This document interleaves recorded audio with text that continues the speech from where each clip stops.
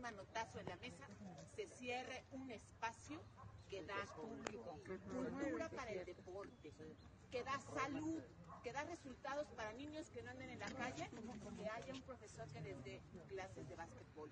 Que además, hay que decirlo, no estaba sostenido por ningún gobierno. Entonces, no es justo que un espacio para la comunidad de uso popular, sostenido por la